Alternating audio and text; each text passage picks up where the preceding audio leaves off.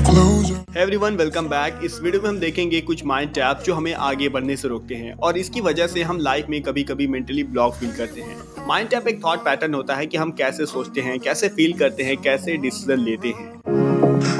अगर आप दिन भर लेजी फील करते हैं, दिन भर रील्स देखते हैं डिमोटिवेटेड रहते हैं, कुछ काम करने का मन नहीं करता तो इसका मतलब है कि आपने खुद को जाना नहीं है, खुद को पहचाना नहीं है। आपने अपना पैशन नहीं जाना है और लाइफ में आपका पर्पस क्लियर नहीं है। तो अगर आप चाहते हैं कि आप अपना पैशन डिस्कवर कर पाए तो डिस्क्रिप्शन में लिंक है, आप वहाँ से ज्वाइन कर सकते हैं। तो चलिए शुरू करते हैं। Point number one procrastination procrastination का मतलब होता है काम को बार बार टालना, जिसका रिज़ल्ट ये होता है कि हम अपने इंपॉर्टेंट काम को टाइम पर कंप्लीट नहीं कर पाते। इसकी वजह से हम अपने गोल्स को कभी अचीव नहीं कर पाते। जैसे अगर कल आप कोई काम करने की सोचते हैं तो उसे कल करने की जगह अगले दिन या शायद कभी नहीं करते हैं। ये एक मिनट ट्रैप है जो हमें किसी काम को तुरंत करने की जगह उसे कल करने के बारे में बताता है और फिर उसे कभी नहीं करने में बदल देता है। इससे होता यह है कि हमारा कीमती समय हमारे हाथ से निकल जाता है, जो कभी भी और किसी भी कीमत पर दोबारा वापस नहीं आ सकता। इसलिए आज से जो भी काम करने की सोचें, उसे तुरंत शुरू कर दें।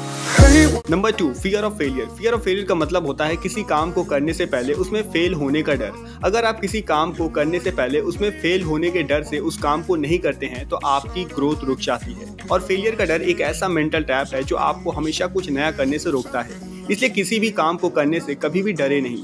ज़्यादा से ज़्यादा यही होगा कि आप उसमें फेल हो जाएँगे। लेकिन अगर आपने डर के मारे किसी काम को करने की कोशिश ही नहीं की तो वो तो फेल होने से भी बुरा है।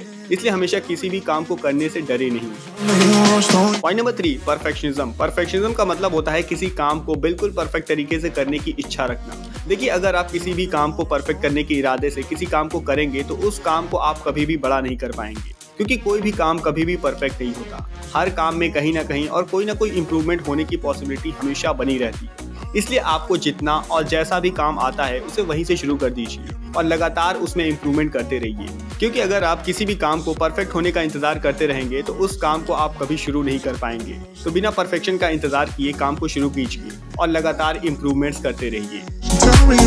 Point number four fix mindset fix mindset का मतलब होता है खुद के अंदर कमियाँ देखना। जैसे कि मैं मोटा हूँ, मैं पतला हूँ, मैं दिखने में अच्छा नहीं मैं ये काम करने में अच्छा नहीं हूँ, मेरे अंदर इस काम का टैलेंट नहीं है, मैं ये सीख नहीं सकता। फिक्स माइंडसेट वाले हमेशा नई चीज़ करने से डरते हैं और खुद को दूसरों से कंपेयर करते हैं। उनको ऐसा लगता है कि हम खुद के अंदर नया बदलाव नहीं ला सकते। वो हमेशा एफर्ट करने से बचने की कोशिश करते हैं। अगर आपको लाइफ में कुछ बड़ा करना है तो आपको फिक्स माइंडसेट से बाहर निकलकर ग्रोथ माइंडसेट की तरफ़ बढ़ना होगा। खुद के अंदर बदलाव लाना पड़ेगा और नई चीज़ें सीखना पड़ेगा। Point number five short term thinking short term thinking का मतलब होता है आज जो बेनिफिट मिलने वाला है, उसके बारे में सोचना। अगर हमें अपनी लाइफ में कुछ बड़ा करना है तो हमें दूर की सोच रखनी होगी। और आज के बेनिफिट को नहीं देखते हुए दूर के बेनिफिट के लिए काम करना होगा। आज हो सकता है जो काम आप कर रहे हैं, उसमें आपको तुरंत कोई फ़ायदा मिल रहा हो, लेकिन हो सकता है फ्यूचर में कोई फ़ायदा ना मिले। इसलिए अपनी सोच को बड़ा करें और दूर की सोचें, ताकि आपके काम में हमेशा मोटिवेशन बना रहे। Point number six comparing yourself to others comparing yourself to others का मतलब होता है खुद को किसी और इंसान से कंपेयर करना। जब आप खुद को किसी और इंसान की गाड़ी, बंगला, पैसा या उसकी सक्सेस से कंपेयर करते हैं तो आप खुद को निराश कर देते हैं। जिसकी वजह से आप अपने काम को बेहतर तरीके से नहीं कर पाते हैं।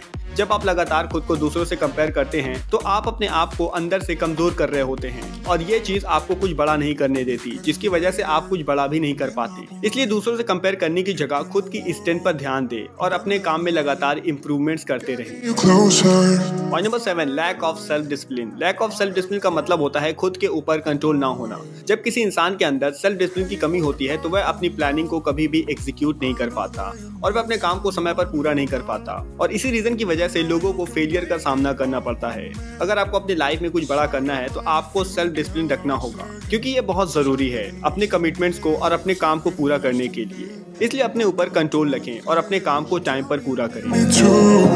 Point number eight don't focus on one thing don't focus on one thing का मतलब होता है किसी एक चीज़ पर फोकस ना कर पाना। जब आप अपनी लाइफ में एक से ज़्यादा चीज़ों पर फोकस करते हैं तो आप किसी भी चीज़ को उतने अच्छे तरीके से नहीं कर पाते हैं, जितने अच्छे तरीके से आप किसी एक चीज़ पर फोकस करके कर सकते थे। इसीलिए अपनी लाइफ में किसी एक काम पर पूरा फोकस कीजिए, ताकि आप उस काम में एक्सपर्टीज हासिल कर सके और ये दुनिया आपके काम से आपको जाने देखिए लाइफ में लगातार हर चीज़ों में कुछ ना कुछ नया बदलाव आता रहता है, ताकि हम अपनी लाइफ को और आसान बना सके, अपने काम को और बेहतर बना सके। और इसके लिए हमें लगातार नए बदलाव करने बहुत ज़रूरी है, ताकि हम चीज़ों को और भी बेहतर ढंग से कर पाए।